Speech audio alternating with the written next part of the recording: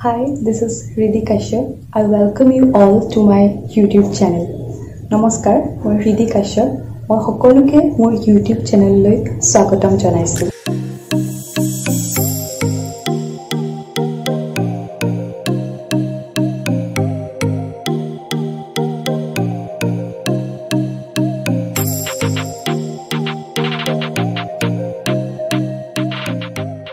আজি মোৰ জন্মদিন আৰু এইটো আচলতে মই নিজৰ ফালৰ পৰা নিজক এটা জন্মদিনৰ উপহাৰ হিচাপে ইউটিউব চেনেলটো খুলিবলৈ আগবাঢ়িছোঁ।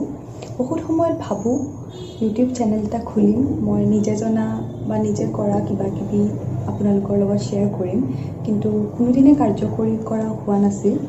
আজি ভাবিলোঁ প্ৰথম ষ্টেপটো দিয়ে দিওঁ আৰু মোৰ জন্মদিনতকৈ ভাল লগা দিন আৰু কি হ'ব পাৰে। গতিকে সেই ভাবিয়ে আগবাঢ়ি আহিছোঁ।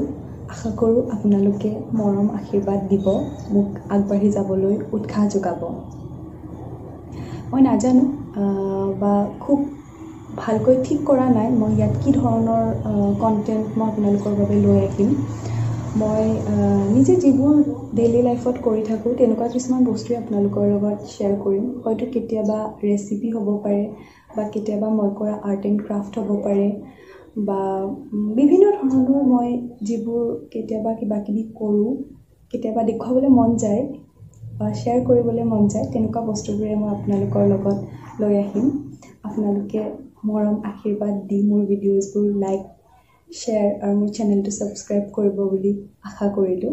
আজি সৰু বস্তু এটা লৈ আহিছোঁ আপোনালোকৰ বাবে। সেইটো হৈছে বুকমাৰ্ক একচুৱেলি আজিকালি বহুতেই অনলাইনে বুকছ পঢ়ে। কিনি পেপাৰ ৰিডিংটো খুব কমি গৈছে। এতিয়া সময়বোৰো তেনেকুৱাই হৈ গৈছে অৱশ্যে। কিন্তু তথাপিও তাৰ মাজতো এনেকৈ পেপাৰ বুক পঢ়াৰ মজাটো একচুৱেলি বেলেগ।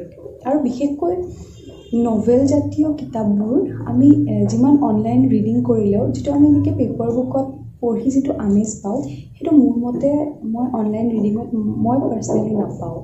গতিকে এনেকুৱা কিতাপ যেতিয়া আমি পঢ়োঁ তেতিয়া আমি যোনখিনি ৰখি যাওঁ সেইখিনিত চিন্তিত হ'বলৈ আমি সৰুৰ পৰাই আমি পাঠটো ভাজ কৰি থওঁ। কিন্তু কেতিয়াবা এনেকুৱা হয় কিছুমান নতুন কিতাপত পাঠটো ভাজ কৰিবলৈ একেবাৰেই মন নাযায়।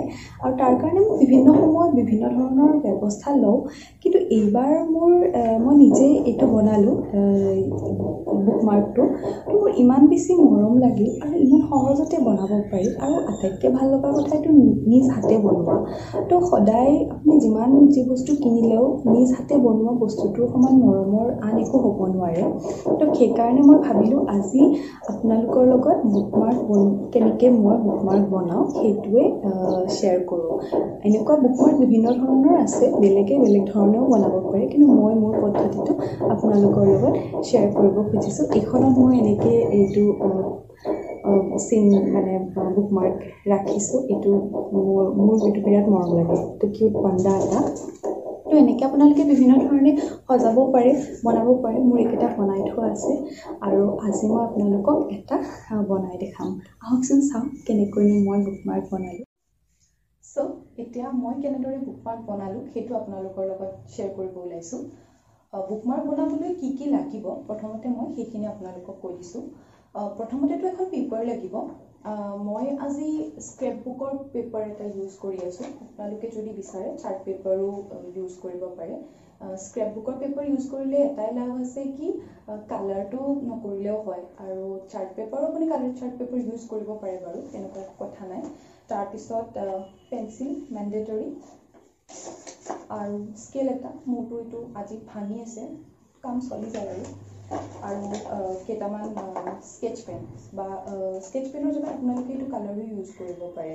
তো মই আজি স্কেচ পেনেই ইউজ কৰি আছোঁ কাৰণ কালাৰ ইউজ কৰিলে ব্ৰাছটো লেতেৰা হয় পিছত বহুত ধুব লাগে তো বহুত কাম ওলাই যায়। তো এলেহুৱা মানুহ তো এইবোৰ কৰিবলৈ মন নাই। আৰু মই আজি এই চাৰিটা কালাৰ ইউজ কৰিছোঁ কাৰণ মই আজি মোৰ বুকমাৰ্কটো এংৰি বাৰ্ড এটা বনাই আছোঁ। তো সেইকাৰণে মই black brown yellow' and orange এই চাৰিটা কালাৰ ইউজ কৰিছোঁ। আপোনালোকে আপোনালোকৰ পচন্দৰ মতে যি বনায় সেই হিচাপত সেই কালাৰ ইউজ কৰিব পাৰে। তাৰপিছত এটা ফেভিষ্টিক লাগিব। গামটো যিকোনো ল'ব পাৰে ফেভিকল ফেভিষ্টিক আজি মোৰ তাত ফেভিকল নাই তো মই ফেভিষ্টিক ইউজ কৰি আছোঁ। কেঁচি এখন লাগিব কাটিবৰ কাৰণে বা আপোনালোকে কাটাৰ ব্লেড যি ভাল পায় ইউজ কৰিব পাৰে। ইৰেজাৰ এটা প্ৰয়োজন হ'ব পাৰে নহ'বও পাৰে।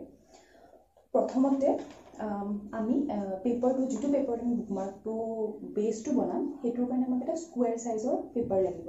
তো এটা কথা এইখিনিতে মই কৈ দিওঁ স্কুৱেৰটো আপুনি যিমান ডাঙৰ কৰিব বুকমাৰ্কটো যেতিয়া শেষত ৰেডি হ'ব সেইটো আপোনাৰ তাৰে আধা হ'ব। এতিয়া এইটো মই টুৱেণ্টি চেণ্টিমিটাৰৰ স্কুৱেৰ লৈছোঁ তো এই স্কুৱেৰখনৰ এই স্কুৱেৰ পেপাৰখনৰ পৰা যেতিয়া মই বুকমাৰ্কটো বনাই ৰেডি কৰিম তেতিয়া এইটো টেন চেণ্টিমিটাৰৰ বুকমাৰ্ক হ'ব। তো তেনেকৈ মোৰ এইটো টুৱেণ্টি চেণ্টিমিটাৰৰ স্কুৱেৰৰ পৰা বনোৱা টেন চেণ্টিমিটাৰৰ বুকমাৰ্ক তো এইটো মোৰ এইট চেণ্টিমিটাৰ এইটো এই দুটা মোৰ এইট চেণ্টিমিটাৰৰ বুকমাৰ্ক তো এই দুটা বনাওঁতে মই ছিক্সটিন চেণ্টিমিটাৰৰ স্কুৱেৰ পেপাৰ এটা ইউজ কৰিছিলোঁ। তো সেই হিচাপত আপোনালোকক যি চাইজৰ বুকমাৰ্ক আপোনালোকে বিচাৰে ইয়াতকৈ সৰু ডাঙৰ সেই হিচাপত পেপাৰখন কাটিব। তেতিয়া আপোনালোকৰ আৰু গণ্ডগোল নালাগে। এই বস্তুটো মই কৈ দিছোঁ সেইকাৰণে। তো প্ৰথমতে এনেকৈ স্কুৱেৰ পেপাৰ এটা বনাই লওক স্কুৱেৰটো কাটি উলিয়াই লওক আপোনালোকে য'ৰ পৰাই বিচাৰে চাৰ্ট পেপাৰ হওক বা স্ক্ৰেপ বুকৰ পেজ হওক। প্ৰথম কামটো আমি ইয়াতে কৰিম যে আমি এটা এংগেলৰ পৰা এটা এংগেললৈকে এনেকৈ লগ কৰি এইটো ভাজ এটা কৰিম। স্কুৱেৰটো মানে ট্ৰাইংগল বনাই ল'ব লাগিব।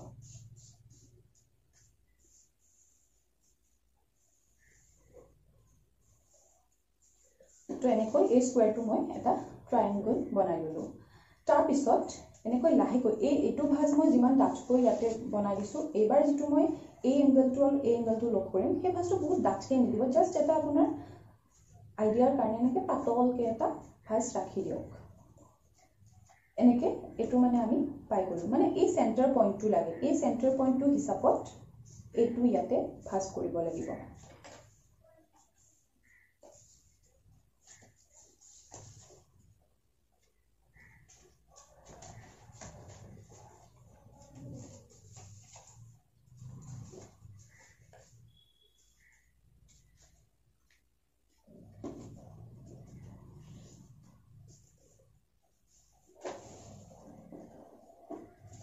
তো নেক্সট ষ্টেপত মই চেণ্টাৰ পইণ্টটো উলিয়াই লৈ এইটো মই ফাৰ্ষ্টত কৰিছিলোঁ। এইখন আছিলে মোৰ স্কুৱেৰ পেপাৰ এই স্কুৱেৰ পেপাৰখন মই প্ৰথমতে এনেকৈ ভাজ কৰিলোঁ। তাৰপাছত মই এনেকৈ এবাৰ মিহিকৈ এটা ভাজ কৰিছোঁ যাতে মই চেণ্টাৰ পইণ্টটো পাই যাওঁ। এনেকৈতো খুব ডাঠকৈ সিঁচি নিদিব। তাৰপাছত মই এনেকৈ সেই চেণ্টাৰ পইণ্টটো কেন্দ্ৰ কৰি এনেকৈ এইটো ভাজ কৰিছোঁ।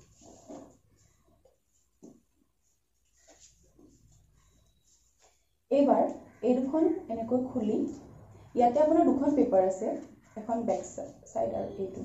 ইয়াৰে যিখন ফ্ৰণ্ট ছাইডত থাকিব সেইখন ইয়াৰে তললৈ ভাজ কৰিম ইয়াতে লগাকৈ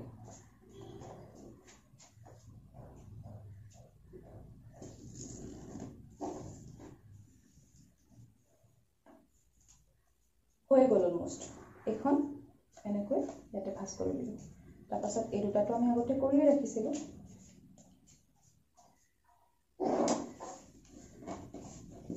এতিয়া এই দুটা যে ইয়াতে ভাজ কৰি ৰাখিছিলোঁ এই দুটা এতিয়া আমি এই বক্স টাইপ হৈ গৈছে যে ইয়াৰে ভিতৰত এইটো বস্তু এনেকৈ ভাজ কৰি সোমাই দিম দুয়োফালৰ পৰা।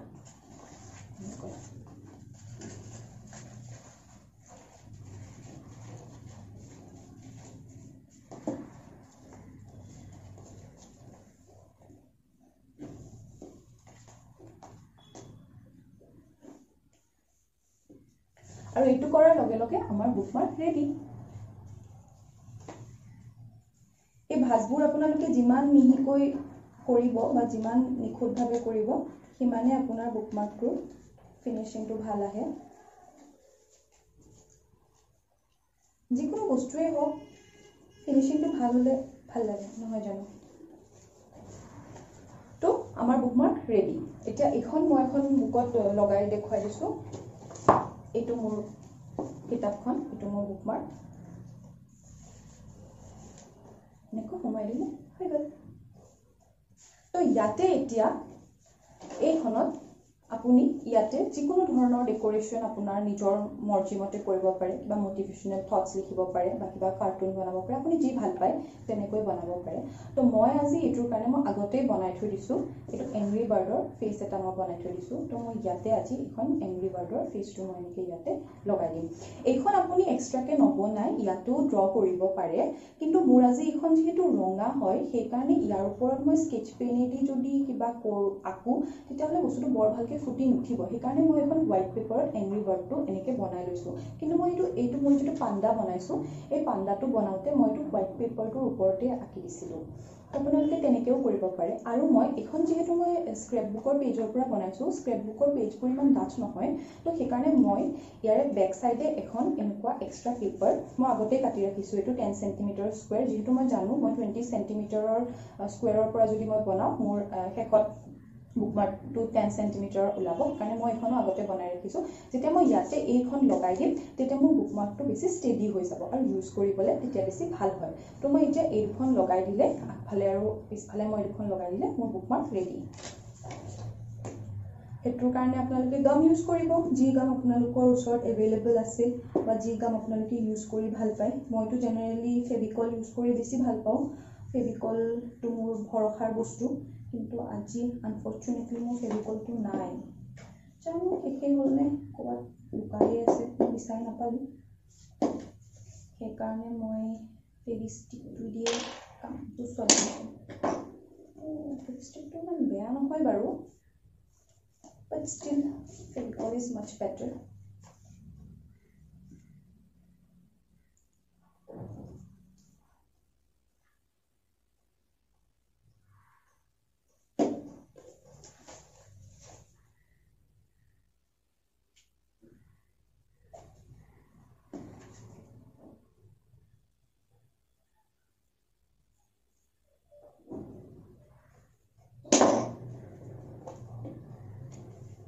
and my bookmark is ready কেনেকুৱা লাগিল বাৰু?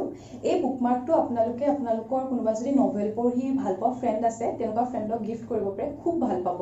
মোৰ আছে তেনেকুৱা কেইবাজনীও ফ্ৰেণ্ড তো মই ভাবি থৈছোঁ সিহঁতক মই যেতিয়া নেক্সট লগ পাম এই কৰোণা ছিজন যোৱাৰ পিছততো বহুদিন লগেই পোৱা নাই তো সিহঁতক এনেকুৱা এটা এটা বুক মাৰ্ক গিফ্ট কৰিম বুলি মই ভাবিছোঁ।